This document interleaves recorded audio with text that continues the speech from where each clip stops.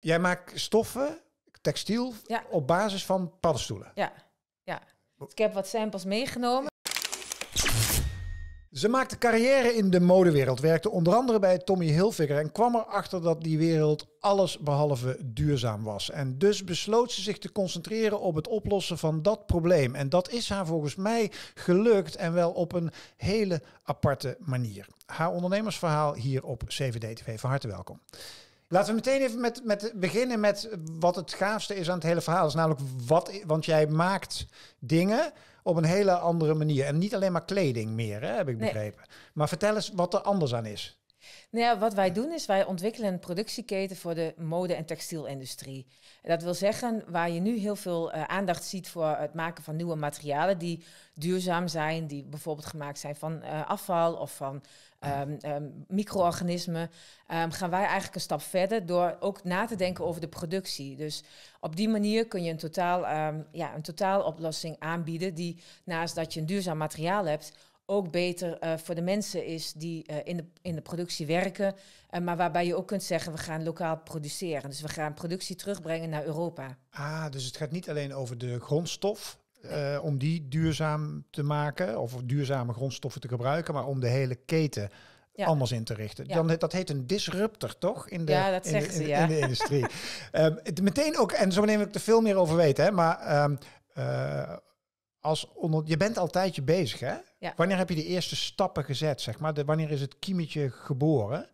Het hangt er vanaf wat je het kiemetje bedoelt. Ik ben in 2008 voor mezelf begonnen om te gaan kijken wat ik wilde gaan doen. Want ik had een carrière opgebouwd in de mode-industrie. En ja, ik wilde eigenlijk niet gewoon eeuwig eh, blijven ontwerpen. En weer een beetje terug naar dingen ontwikkelen en eh, vernieuwen. En, en dat was in 2008. Maar dit project, ehm, ehm, wat eh, samenhangt met NEFA, dat is het materiaal Mycotex van eh paddenstoelen gemaakt. Dat ben ik in 2014 gaan doen met de. Utrecht Maar Universiteit. dat is ook dus alweer zo'n tien jaar. Ja. Jij maakt stoffen, textiel, Ja. op basis van paddenstoelen. Ja, ja. Ik heb wat samples meegenomen. Ja? Dus bijvoorbeeld dit is de, de natuurlijke kleur. En we maken daar ook verschillende texturen mee. Ehm, je kunt ook bijvoorbeeld aan een krokodilletje denken. Ja. Ehm, Ja, ik weet niet of het volgens mij, ja, volgens mij schijnt het licht er aardig op, ja. Dus volgens Ja. mij kun je het aardig zien, ja. ehm, maar we kunnen, en dat is super interessant, eh, want dat is gangbaar. Maar je kunt ook nieuwe eh, texturen maken. Dus dit is geïnspireerd op koraal. En je kan je voorstellen dat je ja, met de huidige 3D-ontwikkeling, eh, dat je de texturen ook aan elkaar kunt plakken of er een logo in kunt zetten. Dus waar je nu in de industrie te maken hebt met een embossing. Dus je hebt lappen stof ehm, of lappen leer. En eh, met hitte en metalen platen wordt daar wat een textuur ingedrukt. Eh, doen wij dat eigenlijk al gelijk in de 3D-mal, waardoor je veel flexibeler bent ook met, met texturen. Laten we bij het begin beginnen. Want Ja. het zijn, het zijn niet, zijn het, het, ik las dat het de, zijn het de wortels van de paddenstoelen of zijn het de, de wortels van de paddenstoelen? Ja, dus, Waar, hoe kom je daaraan? Die groeien. ja. Maar eh, waar, waar haal je die dan? Bij Nou, die hebben we in ons eigen lab. Oh, in je lab? Ja, dus eh, waar je eh, paddenstoelen vandaan haalt, eh, bijvoorbeeld uit het bos. Je kunt gewoon een klein stukje paddenstoel nemen en dat kun je eh, in het lab opkweken, totdat je eigenlijk alleen maar die paddenstoel hebt. Ja. Ehm, en dan kun je daaruit eh, eh, mee groeien. En wij hebben een soort uitgekozen die heel snel groeit. Ehm, want je wil natuurlijk dat iets heel snel groeit, want hoe sneller het groeit, hoe goedkoper het is uiteindelijk. En zit daar iets schadelijks aan of is dit compleet natuur? Want je hebt, je hebt iets uit de natuur, dat haal je en Ja. dat zet je in een lab en dat kun je dan allemaal zeg maar, dupliceren en groeien. Daar zit niks fouts aan in de zin van dat, dat is allemaal. Is, Ja, we doen niet aan, aan eh, eh, eh, GMO, dus genetische modificatie. Ehm, en wij zoeken natuurlijk wel paddenstoelen uit die, die goed zijn voor de mensen. Want je wil natuurlijk niet uiteindelijk kleed... Kijk, we kennen allemaal die paddenstoelen, die zwarte schimmels uit eh, eh, de badkamer. Die, daar ga je natuurlijk niet mee daar ga je werken. geen jasje, daar ga je nee, geen, daar ga je eh, geen jasje van maken, want dan adem je slechte dingen in. Ja, ja. Dus je zoekt naar paddenstoelen soorten die, die gezond zijn. Voor, nou ja, ook voor de mens, maar die ook snel groeien. Maar hoeveel paddenstoelen wortel heb je nodig voor een jasje? Ehm, ja, dat is- toch wel een kilo, denk ik. Ja, het hangt een beetje van model af. Hè. Hoe groter Ja, ja, ja. je jas, hoe meer je nodig hebt. Maar pak eh. een beetje, zomaar een kilo heb je dan nodig. ja. Maar dat, dat, Oké, dus, dus één, je hebt, je hebt de, de grondstof, lees die, die paddenstoelenwortel, die ga je kweken. En dan, hoe gaat het dan verder? Kun je dan uitleggen hoe, zeg maar, de, de, de route naar het eindproduct? Ja, dus ehm, wij kweken dan die paddenstoel ehm, in het lab. En we zijn met partners bezig die dat eh, op grotere schaal gaan doen. Ehm, en van daaruit ehm, voegen wij, ja, we zeggen altijd onze geheime saus eraan toe. Eh, net als dat cola zijn geheime receptuur hebt. Ehm, en we kunnen daar pigmenten aan toevoegen. En, en dan brengen we dit aan op 3D-mallen. Ehm, dus ik heb bijvoorbeeld daar een, ik heb een kleine Ja, dat, ja, ja. een schaal meegenomen Ja. of een tasje, wa- wa- wat je zelf ervan eh, vindt dat het is. Ja. En dat hebben we op een eh, 3D-mal gemaakt. Ehm, en dat kan ook bijvoorbeeld het glas zijn wat we hier op tafel hebben staan. Dus alles kan bijna een 3D-mal zijn. Alleen, ehm, ja, wij zoeken natuurlijk wel heel slim naar duurzame 3D-mallen. En dan brengen we aan die buitenkant van die mal brengen we de biomassa aan. En dan tijdens het drogen eh, verbindt dat zich van nature aan elkaar. Droogt het in, als het ware en dan heb je een, een, sterk De materiaal. biomassa, dat is die Die paddenstoelen. paddenstoelen, ja, ja. ja. ja. wij noemen dat biomassa omdat er ook nog eh, andere ingrediënten in zitten. Zoals Ja. bijvoorbeeld een plasticizer. Een wat? Een plasticizer. Wat is dat dan? Dat is iets wat het flexibel maakt. Ah ja. Ja, en, en dat kun je op verschillende manieren. Heel veel eh, textiel eh, heeft een plasticizer, maar bijvoorbeeld plastic heeft ook een plasticizer. En wat wij doen is wij zorgen dat we met eh, natuurlijke ingrediënten werken die niet schadelijk zijn. Ehm, en dat is wat wij dan aan, aan, eh, ja, aan ingrediënten nog toevoegen aan de paddenstoelen. Wat is jouw achtergrond? Ben jij creatief of ben jij, hoe ben jij opgeleid? Zeg maar? Ja, mijn achtergrond is creatief. Ik heb een kunstacademie gedaan eh, in Utrecht. Ehm, ik heb daarvoor een technische opleiding gehad, dus ik weet eigenlijk wel van de productie en het eh, creatieve gedeelte. Ja. Maar mode, dus ik heb geen eh biotechnologie achtergrond. En hoe, kwam, hoe, hoe kom je op zo'n, want je, je werkt, want werkte jij voor een merk of want, wat, want ik heb je loopbaan heel, ik heb één merk genoemd, Tommy Ja. Hilfiger, die, Ja. dat, las ik ergens, maar hoe, waar heb je allemaal gezeten en, en voor wie heb je allemaal gewerkt? Ehm, ehm, als vast heb ik gezeten bij The Sting, ehm, bij eh, Tommy Hilfiger en bij eh, Twinlife. Dus dat waren eh, hele verschillende merken, zeg maar. En daarna ben ik gaan freelancen. Heb bijvoorbeeld ook voor Gastra gewerkt. En in die tijd ben ik gaan kijken van... oké, wat wil ik dan nu gaan doen? Want ja, om nou eeuwig ontwerpen te Want blijven... jij ontwierp kleding. ik ontwierp kleding, En ja. dat is heel modegericht. En dan moest je Ja. elk jaar weer, huppakee, moet je weer een nieuw jasje of een nieuwe Ja, broek ja. of een nieuwe... Ja, ik heb alles gedaan. Ja, t-shirts, eh, dames, heren. eh, maar hoe kom je op het, hoe, even, waar is het linkje tussen eh, wat je daar deed Ja. en wat je nu doet? Zeg maar. hoe, staat ons, hoe kwam dat?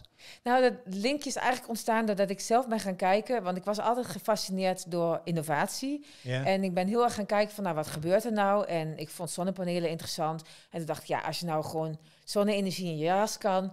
Hè, maar zonnepanelen waren heel hard. Dus dan ging ik uitzoeken van, nou, oké, hoe kan je dan flexibele zonnepanelen krijgen? Ehm, ehm, of zijn er andere manieren? Dus op die manier ging ik eigenlijk heel erg onderzoekend kijken van wat gebeurt er in, het, in de technologiewereld dat ik kan gebruiken in textiel. Dus ik heb bijvoorbeeld met een aantal eh, eh, technologiebedrijven samengewerkt om eh, te kijken van en om hun technologie te gaan prototypen in kledingstukken, zodat zij een toepasbaar idee konden laten zien. Want vaak zijn die technologieën super interessant, maar blijven Mhm. ze op de plank liggen, omdat er Mhm. niet een prototype meegemaakt wordt. En dan begrijpen mensen niet wat je ermee kan. Nee, Want je kan een ledje laten zien, maar dan denkt iemand, ja, leuk. Ja.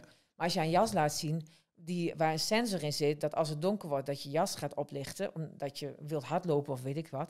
Ja, dan begrijpen mensen ineens, ah, dan is Ja. die letter ineens super interessant. Hoe ver zijn we daar vanaf? En ik, las, ik, ik kwam laatst een filmpje tegen, ook waarbij je iemand met een jurk of zo, die dan zeg maar aanpasbaar was. Dus die gewoon qua design veranderde. Eh, gaan we dat even zo meteen terug naar jouw onderwerp? ja. Maar, maar omdat jij het aanroert, want, want ik, ik kan me voorstellen dat dat ook waarheid wordt. Dat, dat beeldscherm, eigenlijk ouderwetse beeldschermtechnologie noem ik het maar even. Ja. Dus het digitaliseren van kleding met alle mogelijkheden van dien. Is dat dichtbij al? Nee. Nee? Nee, dat is ehm, ehm, nog steeds prototype level. Dus je ziet enkele stuks, maar ehm, het probleem wat je hebt is dat iets wasbaar moet zijn. Dus je moet heel goed nadenken over Ja. hoe je de, de technologie implementeert, hoe je met de batterij omgaat. Je moet daar de consument ook over inlichten, ehm, eh, hoe die daarmee om moet gaan. Want idealiter wil je dan dat die batterij eraf klikbaar is. En daar zijn allemaal wel systemen voor, maar die zijn over het algemeen nog heel prijzig. En je moet Ja. echt een merk vinden wat dat, eh, ja, dat echt wil aanjagen. Terug naar jouw concept, dat niet zozeer met technologie te maken heeft, maar met de natuur die je gebruikt eigenlijk. Bio- biotechnologie. Ja. Ja. en ook deels technologie, want we werken met robots. Ja, ja, precies. Ja. Je Prachtige animaties trouwens op jullie website die Ja, ik eh, zag. Echt geweldig. Ja, dat snap ik. Heel inspirerend. Eh, voor de kijkers is zal een linkje in de beschrijving eh, toevoegen voor, voor later.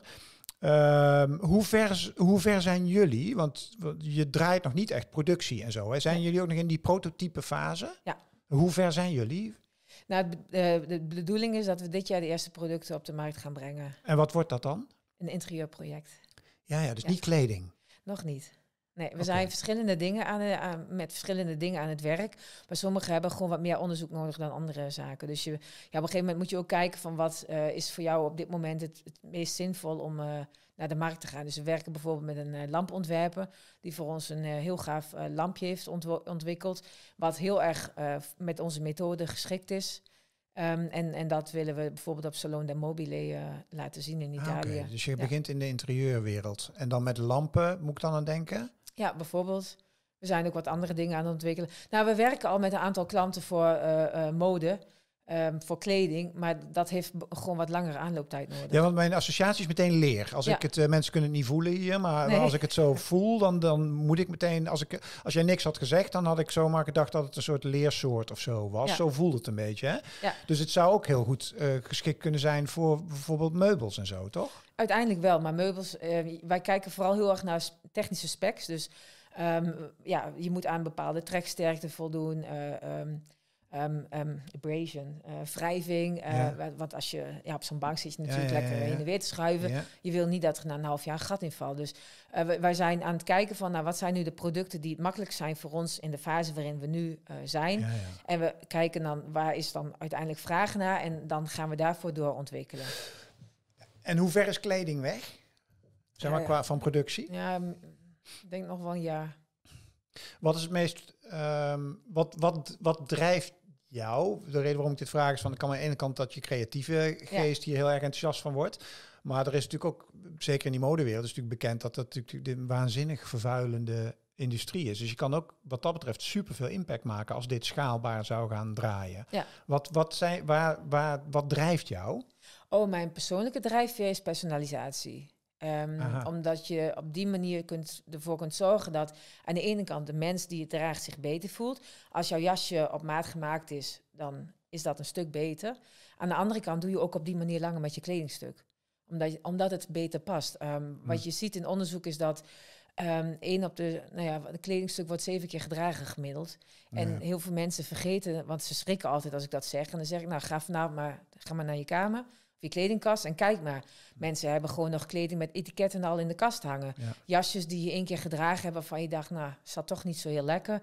Ehm, dus als je heel eerlijk naar je kledingkast gaat kijken, dan en je hebt daar stukken in die gewoon voor jou zijn gemaakt op maat, ja, dan ga, die ga je niet zo gauw wegdoen. Want En dat is je 3D-aanpak, waardoor het dat is onze op- uiteindelijke doelstelling. Dus daar zijn we nog wel een paar eh, jaar van eh, weg. Maar neem mij nou eens mee over tien jaar. Ja. Eh, hoe, en ik ben consument. Ja. En jij en Neffa is naast dat ze lampen, banken, de hele shebang zijn jullie ook een mode. Jullie zijn een modemerk geworden. Ah ja, en, en jullie hebben die hele keten in handen. Hoe, kom, hoe werkt dat dan als consument? Kun je dat, heb je daar een beeld van hoe dat dan werkt vanaf het moment dat ik denk ik wil een jasje? Hoe werkt dat dan? nou we werken vooral eigenlijk business to business. Dus eh, onze klanten zijn de modemerken. Ja. En wat je idealiter dan, waar wij naartoe willen, is dat je dus online je, je, ehm, je maten kunt doorgeven. Gebe- gebeurt nu al ehm, bijvoorbeeld bij sportscholen, dat je, ja, je hele body wordt gescand. ja, en precies. Eh, nou ja, je weet vetpercentage, noem maar maar op. Ja. Ehm, maar die data kun je natuurlijk ook voor kleding gebruiken. En dus dan zou jij in de toekomst zou jij jouw data op kunnen loaden. En dan zeg je, nou, ik wil van eh, dat merk wil ik graag dat jasje. Maar ik heb lange armen, dus ik wil gewoon dat die armen eh, gewoon net iets langer gemaakt worden. Dat is mijn toekomstdroom. En dat kan natuurlijk nu ook al, maar dat, dan is de hamvraag natuurlijk hoe maak je dat schaalbaar en Ja. dat het prijstechnisch allemaal past. Precies. En, en daar zit bij ons zit hem dat vooral in de mallen. Ehm, de productiewijze is zo gema- gemaakt. Ehm, even voor jou om een, beeld te krijgen. Op het moment dat jij je, je kleding geproduceerd wordt, je hebt echt productfabrieken. dus een fabriek maakt alleen maar t-shirtjes of alleen maar jassen of alleen maar broeken. En wat je met onze methode kan doen, juist omdat het met robots werkt en met mallen. Het enige wat moet gebeuren is dat die robot die mal herkent. Dus onze productietechnologie is veel flexibeler. Je zou in onze fabriek, dat gaat waarschijnlijk niet gebeuren, maar je zou eerst een jas kunnen maken en dan een lamp en dan een bank, bij wijze van spreken. Een nieuw programmaatje aanklikken en, eh, en, Ja. en- ja. Ja, of eigenlijk de robot moet de chip uitlezen. Maar wat is Neffa dan eigenlijk precies? Want ik heb ook als een ondernemersles gehoord van focus. Ja, En jij pakt gewoon even die hele keten en, en je bent bezig met die, Ja. je bent bezig met die paddenstoelwortel. Ja, ja, eh, en het stoffen maken en alles. En dan, maar aan de andere kant heb je een complete productieconcept uh, je aan het uitrollen. nou ja, Nefa is dus het productieconcept en Microtex is het materiaal wat we daarvoor gebruiken. ah ja. En, en eh, dus vandaar dat het ook, het is het moederbedrijf. En uiteindelijk willen we ook nog met andere materialen gaan werken. Dus voor ons is de productie ja, ja. is heel belangrijk. Maar zonder een, een, een vloeibaar materiaal werkt die productiemethode niet.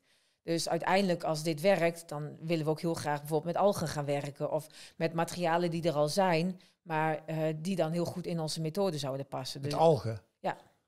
Hey, en als ik mijn jasje niet meer leuk vind, dan flikker ik hem gewoon op de grond, of niet? ja, en de compost ook. Ja. Op de grond werkt het niet, maar dat is wel de bedoeling, ja. ja. Maar daarvoor hebben we nog wat eh, expertise van eh, externe coatingbedrijven nodig, Ja, ja, ja. Luister eens, dit is een prachtig. Ik vind het prachtig verhaal. Dat is ook de reden dat ik ben uitgenodigd. Ik vind het echt super creatief en super leuk en eh, super tof. Eh 2008 eh, ben je zeg maar, voor jezelf begonnen. 2014 is dit za- eh, zaadje geplant. Ja. Het is nu 2024. Eh, de, hoe lang hou je dit vol? Want het is nog steeds, het zijn ideeën, prototypes. Ja. maar je bent nog niet een miljoenenbedrijf die aan alle kanten de mode- en interieurindustrie aan het omverkegelen is. Met, Nee, nog niet. Nee. Hoe geduldig moet je zijn en hoe lang duurt het nog? Waar sta je? Oh, je moet heel geduldig zijn. Ehm, daar had ook iemand uitgezocht om dat voordat nylon op de markt was, dat kostte geloof ik 30 jaar. Dus ja, je moet gewoon een lange adem hebben. Ehm, en mensen hebben die eh, in je vertrouwen, ehm, merken hebben die met je willen samenwerken.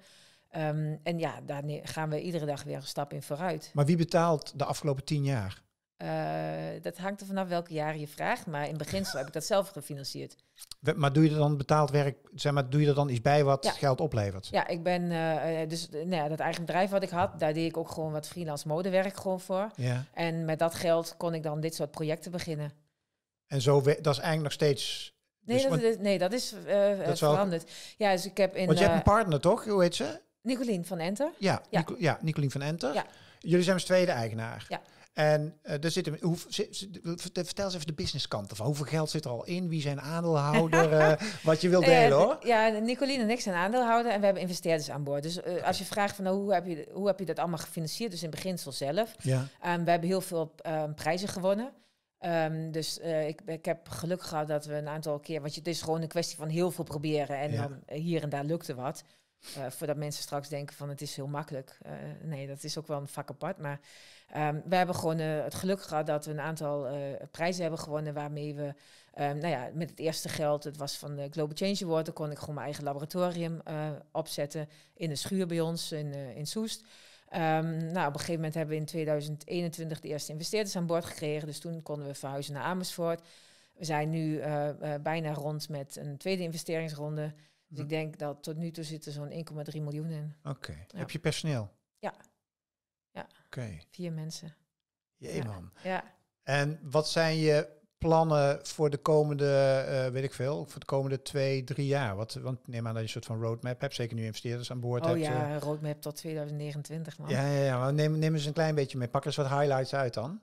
Ehm, nou ja, highlights is, eh, ehm, dus, nou ja, je vroeg naar ons business model. Dus wij gaan niet zelf een fabriek opzetten. Wij werken Nee. met partners die eh, dat met ons gaan doen.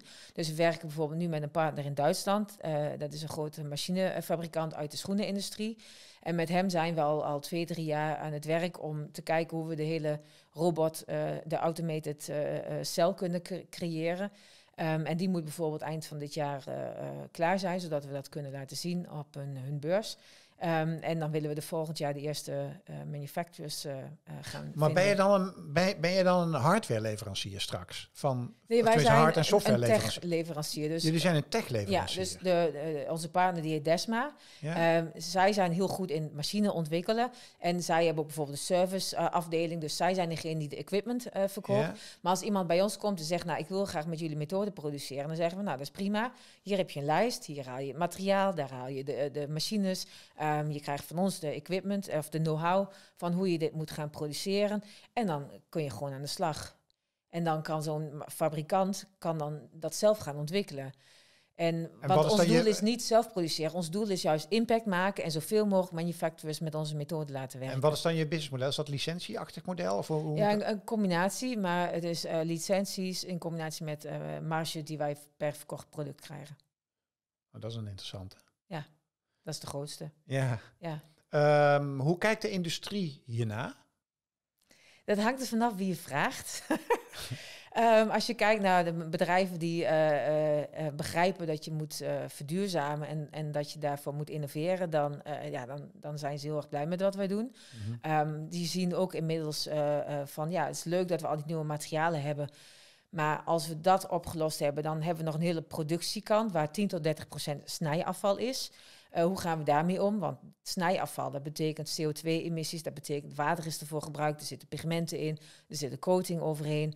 Um, als je dat niet nodig hebt, omdat je alleen maar gebruikt in 3D wat je nodig hebt in 3D, ja, dan kun je daar ook enorm op besparen. Hmm. Plus dat, uh, wat we gezien hebben met COVID, is dat productie in het Verre Oosten is eigenlijk helemaal niet handig. Want ja, met COVID lag alles stil. En op het moment dat je productie kunt terugbrengen naar Europa en dan niet alleen de productie zelf, maar ook het materiaal uit Europa kunt halen. Want dat is wat wij doen. Wij zetten het nu in, op Europees niveau op.